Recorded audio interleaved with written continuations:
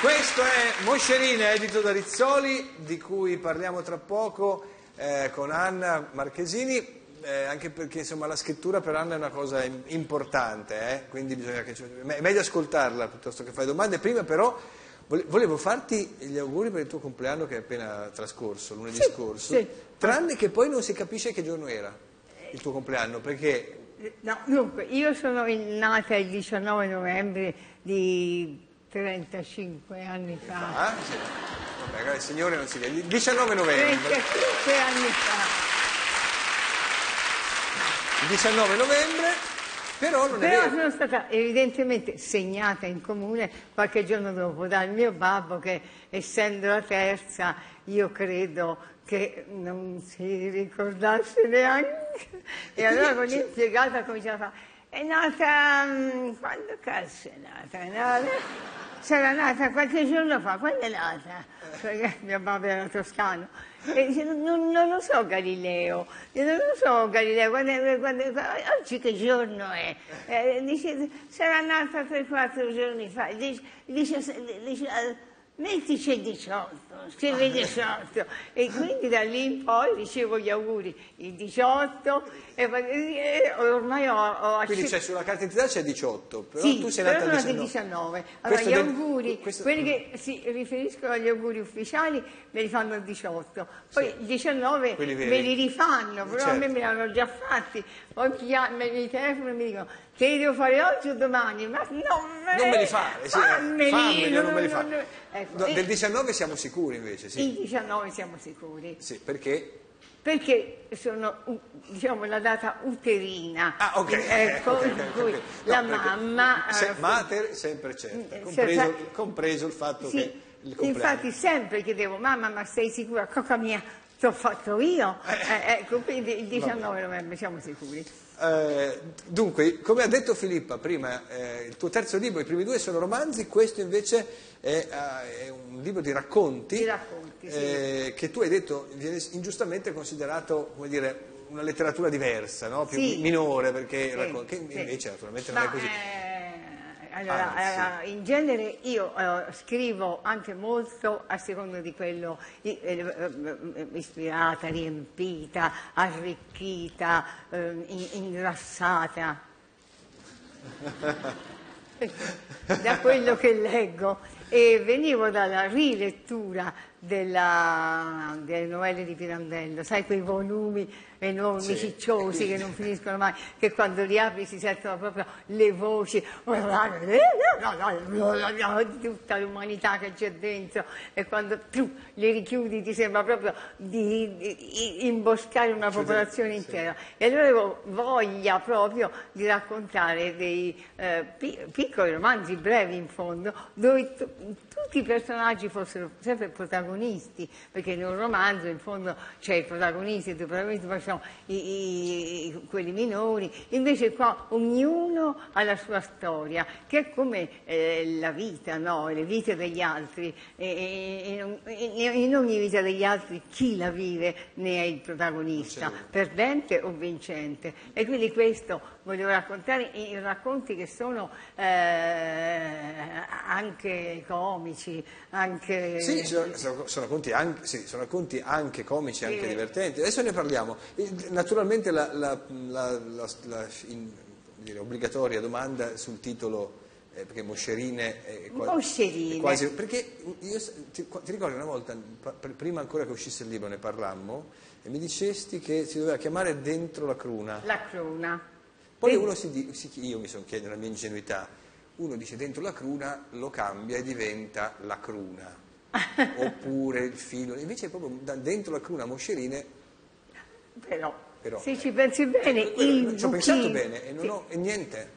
No, il buchino della cruna... Sì, mi raccomando, è, eh. È piccino, no, No, perché io Merope me la ricordo ancora, Merope generosa, io me la ricordo, quella psicologa, chiamasi buchino della cruna, Eh, quel, que- quel, mm, diciamo quel Eh, sì. foro, foro, quel, eh, quel, fore- quel- Quel- quel buco, eh, quel, Eh. quel dove si introduce il, il filo, eh, filo, filo quando è sottile anche filo, però diciamo può essere anche una bella corda. Ecco. Questa è, l'impro- questa è l'improvvisazione. Anna Marchesini!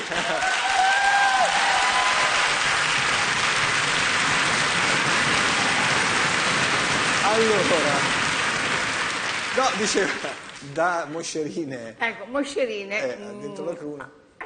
Volte anche diciamo moscerine, ma il loppetto fissioso e piccolo, no, dunque, allora, dentro la cruna passa qualcosa di, eh, diciamo, di proprio inavvertibile, di piccolissimo, di minimale, diciamo come può essere a volte, non so, anche un orgasmo femminile, oppure basta, basta, basta, basta. Oh, e anche Moscerini è in effetti un, un elemento piccolissimo. Mos- Moscerini, ne, quello è sì, ma- e ne- perché eh, chi ce lo dice che i moscerini sono tutti maschi? Io ho pensato qualcuno sarà pure, sarà pure femmina e allora l'ho dedicato a, a- a quelle che sono femmine. Eh. Però uno dice le mosche, i mosconi, come a dire più grandi, più importanti, le lumache, i mocconi, ah, perché sempre il maschile deve ingrandire? Allora, moscerine, i piccoli accadimenti, le piccolissimi, piccolissimi accidenti eh, che accadono nella vita e che però invisibili, ecco, volevo proprio guardare l'invisibile, quell'invisibile che però rende, modifica eh, gli avvenimenti della vita e a volte cambia il tuo finale e può avvenire in qualsiasi eh, momento della tua esistenza, all'inizio, alla fine, in punto di morte. Chi eh, dice, chissà com'è quella moscerina, quell'attimo che passa tra prima ci sono e l'attimo in cui non ci sei più. Come dire- Ma non parla solo di questo. Certo, però parla anche di questo, nel senso Anche che in realtà è, ehm, è una riflessione attraverso i personaggi che popolano queste pagine, una riflessione, insomma, se uno, sai, quelli che leggono i libri degli altri, poi c'è l'autore di fronte, quindi ciò diventa ancora più divertente. E Dare, dare proprio, esprimere quello che uno ha capito di quel libro? Cercavo l'autore. No, Ah no, ah, io, io, io, io, No, io, io- se uno dovesse fare proprio se uno dovesse dire una cosa ecco, che, che viene fuori dalla lettura di questo libro direbbe beh è proprio un libro che ti, fa capire, che ti fa capire attraverso le sue storie molte delle quali molto divertenti e quindi si ride eh, si fa, eh, ti fa proprio capire ehm, quanto bisogno ci sia di vitalità e quanto tutto faccia parte della vita, qualunque esperienza, dalla più comica alla più tragica, ma so- insomma, se uno, eh, anche per fregare un po' la vita, no? Cioè, mantenere la curiosità sempre, sino all'ultimo, di qualunque esperienza che componga la, la vita, qualunque, anche quelle dolorose, è la cosa più vitale che si possa fare. Guarda, così in genere uno cerca di dirlo eh, con la testa, no? di convincere che sia qualcosa eh, che viene da un ragionamento logico. Invece io ti garantisco, io vi garantisco, io ve lo giuro, che, so- che sono così interessata, appiccicata, morbosamente ghiotta e mm, obesa di vita proprio, sono così interessata della vita che mi interessa pure la morte, che di essa è il finale e non è detto. E quindi qualsiasi in fondo eh, mi astengo dal giudizio che sia qualcosa di bello o di brutto, perché è qualcosa che ci accade e quindi tutto quello che ci accade è osservabile, tanto più l'indicibile, quello che cammina eh, nel sottosuolo, quello che non, in genere non compare mai, che non abbiamo il permesso di dire, che non abbiamo il coraggio di dire quanto parlo bene quando vengo qui. È una cosa. Ah! Grazie, grazie.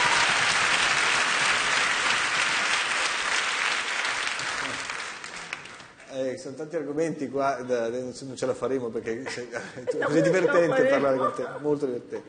Senti, eh, ehm, hai detto che la scrittura per te è la felicità. Sì. E la tua seconda felicità è il commento dei lettori. Sì, è, è sapere che impressione ha fatto quello che ho scritto, perché aggiunge a quello che ho scritto, oltre al fatto che mi fa capire che ho venduto il libro, però non è tanto quello, è quanto, eh, siccome la scrittura eh, diaristica, quella per, troppo personalizzata, quella che io so così e così, io, quella io, che io dico puzza di sugo di cucina, quella che non, non, non interessa a nessuno. Cioè. Quando uno scrive cerca di fare in modo che quello che dice sia generalizzabile, cioè che le persone si possano identificare in quello quel personaggio lì, l'ho visto ecco, anch'io per strada. Esatto, sì, certo. io ho sentito anch'io così, eccetera. E, ehm, quindi se l'altro ti dà una, una, una, risposta di quello che gli è piaciuto di più, di quello che si è sentito di più, di quello che ha scoperto, di quanto gli sia piaciuto, eccetera. Per me questa è una seconda felicità perché equivale all'applauso del teatro, equivale perché il libro cammina da solo, certo. mentre e tu non, non, sai con le sue gambe no? che fortuna farà, che eventi avrà, se piacerà, se lo coccoleranno, in quale casa finirà. Terranno vicino a sé di dormire. Cioè Senti, eh, i, i, protagonisti di questi racconti sono persone apparentemente, diciamo, non, diciamo, insomma, non, non, dei protagonisti, insomma, sono non apparentemente non dei vincenti, sì, non, sì. non, hanno grande rilevanza. Sì, ecco. sì. C'è un motivo per cui hai scelto questo denominatore comune? Sia quelli che parlano di, di, dolore o quelli che invece sono più semplicemente divertenti? Eh, ma intanto, eh, diciamo, per esempio, eh, ci, ci, sono alcuni personaggi di grande forza, tipo la Maria Luce Colle, cioè, che insomma voi adesso non... Eh, dovete come... leggerlo perché, perché sennò poi come si fa? Eh, va bene. Eh. Che sono estremamente forti e tirano fuori una forza enorme da anche una nascita piuttosto banale. Eh, persone che sono eh, apparentemente eh, part- hanno una partenza svantaggiata e poi raggiungono un culmine, una prova che la, eh, la vita pone davanti a loro e sopravvissuti a quella prova e poi diventano in fondo forti perché hanno avuto come la loro terribile punto d'arrivo che però li ha resi immuni da prove eh, più ehm, diciamo meno difficili. Quindi a me eh, piace raccontare non l'ovvio e poi sicuramente sono più portata ad osservare un po' il cerchio dell'umanità, eh, di, di, di, un po' di queste ombre un po' disperse, di questa umanità eh, meno Meno visibile per l'appunto, anche qui, visibile. insomma, moscerine anche loro, sì, insomma, anche sì, i protagonisti sono, sì, un, po', sono un po' dettagli apparentemente che trascurabili. Però, serviti a dovere eh, diventano sì. degli antieroi, ma cioè diventano no. dei protagonisti. No, perché poi insomma, eh, le, se uno legge il libro ehm, in qualche modo guardandolo anche attraverso i personaggi che ha interpretato Anna Marchesini nella sua carriera, si scopre in questi personaggi, in quelli, eh, passami il termine per banalizzare, tragici il senso del comico sì. invece che tu avevi nei tuoi personaggi rappresentati a teatro e in televisione e viceversa in quelli comici c'è il senso. Qui, questa volta sono nudi, cioè è come se il libro avesse, dicesse la verità di quelle persone che tante volte abbiamo sì. visto. In Bravo, in ecco, dire la verità è questo che, che secondo me un attore e uno scrittore può fare al massimo okay. eh, e quando ci piace qualcosa ci piace perché è vero infatti perché ti corrisponde perché dice la verità. Anche se un attore che dice la verità è un'apparente contraddizione Solo apparente, perché diciamo che eh, specialmente in teatro non si finge, in teatro si rappresenta, si fa una maratona eh, emozionale e anche fisica eh, che eh, passa attraverso il tuo corpo, la storia passa attraverso il tuo corpo e tu stesso sei la verità di quello che dice, ma quando parlo bene, quando sono qui una cosa. Io non, non so come fate a rimanere calmi? Io non lo so, non lo so. Domani, domani sulla- sull'inserto del Corriere della Lettura uscirà una, una- una riflessione, un articolo di, di Anna Marchesini sulla- sull'umorismo, eh, in cui tu racconti il tuo primo incontro con il comico, inteso Sì. come, come- come genere. Vu- vuoi anticiparcelo? Ma come no? Eh, eh, il titolo un po' che mi è stato dato è proprio il senso del comico, se ha ancora senso parlare del comico. Il eh, senso a- del senso del co- il senso del senso, senso del del senso. comico. Ehm, sguardo critico sul presente e sul futuro e si esprima con parole sue. Ehm, io sì, eh, Era così, hai ragione, dica il candidato. Dica il candidato. Mamma mia. Anonimo. Eh, allora, stante che il comico, così come il tragico, ritengo sia la forma di arte più alta che- e difficile che c'è, il comico, l'umorismo e il comico, non l'intrattenimento, non, eh, Non la battuta, non il non- cabaret, non non cab- la parolaccia, non il tormentone, Il non, non il divertissement, non il essere buffo e quindi far ridere di sé. Ecco, far ridere di sé, come accade molto spesso eh, tirando giù così un po' le mutande oppure rendendosi goffo, facendosi trovare. eh, quello non è comicità, perché eh, eh, comicità si- significa non ridere di te, ma eh, far ridere per te, cioè grazie Attraverso a te, te. attraverso di te. Primo. Secondo, ehm, non, eh, il narcisismo è il peggiore dei difetti eh, che può avere un uomo e un attore. Il narcisismo è l'esatto contrario del talento, perché il narcisismo è autoreferenziale, no? Eh, sì, lo so, sto parlando bene, ma lo devo dire, Eh, nel senso che eh, tutto quello che fai ha, ha lo scopo no, di riverberare eh, su di te, una questione di vita o di morte, se non hai quell'applauso, se no- mentre il talento è una specie di prodotto di una... mm, scusate, devo dire una cosa un po', un po' forte, di una intelligenza morale. Vergogna! Ah! Eh, vergogna! Vergogna! Vabbè, l'ha detto. Senti, no, ti va di, per salutarci da Moscerine Rizzoli, di leggerci, eh, così, se hai voglia, un, Sì, sì. un- un brevissimo brano. Ah, insomma, questo è proprio di quello, quello che io porto in teatro. Sì. Si, si intitola Cirino e Marilda. Sì? Non si può fare. Non si Ah, sì, fare. no, non si può fare, sì, Cirino e Marilda non si può fare. Si capirà perché. Sì.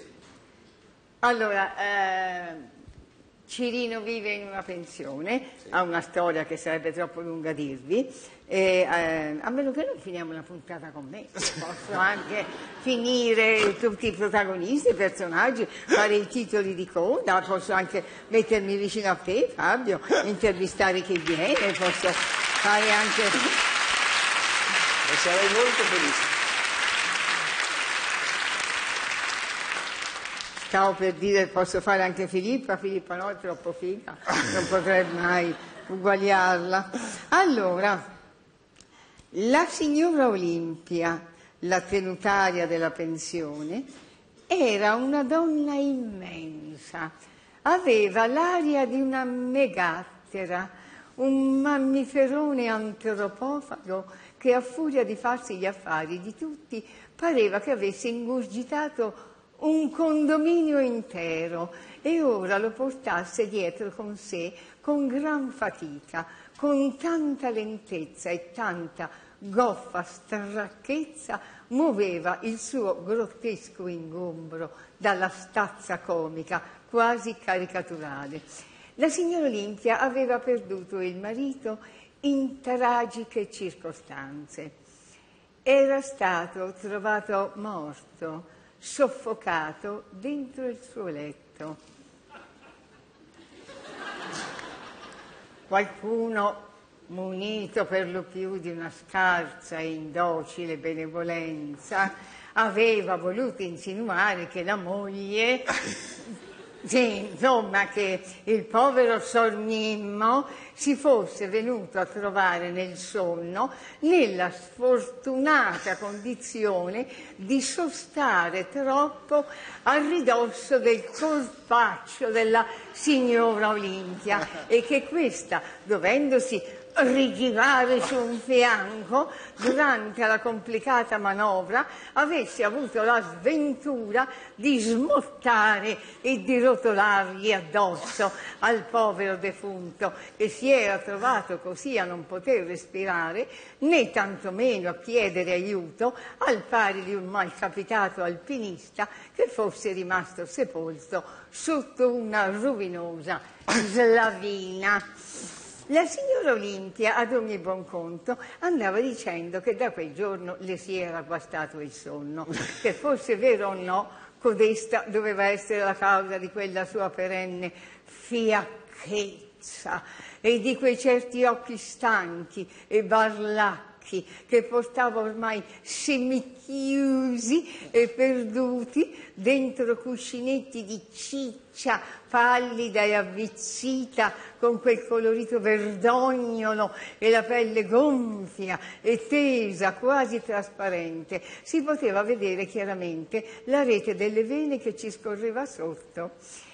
Il fatto è che le responsabilità della signora Olimpia erano aumentate adesso, da quando era diventata vedova, era costretta a svolgere anche le mansioni del marito, come se fosse lui. E così pareva che si fosse ingurgitato pure il suo Mimmo, che se lo portasse appresso con sé, con, come una maledizione siamese, una malformazione cui il destino l'aveva condannata. Madonna del Carmine, tutto su di lei gravava.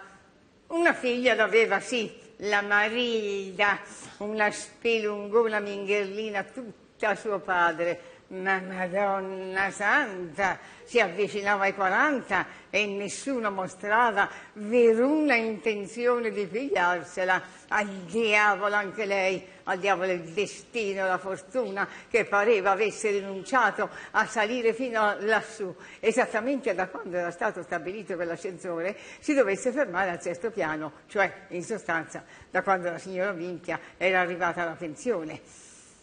Giovane, snella, sottile, caruccia,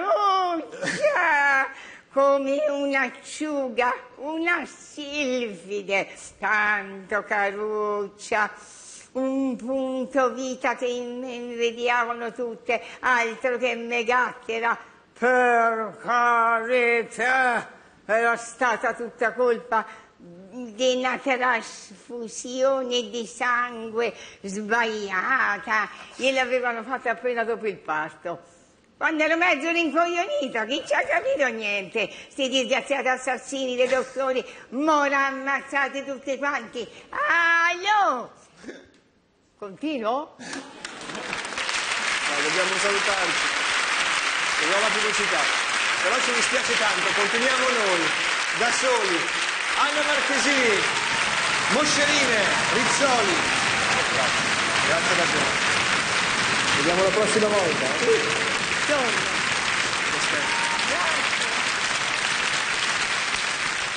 Ciao Filippa.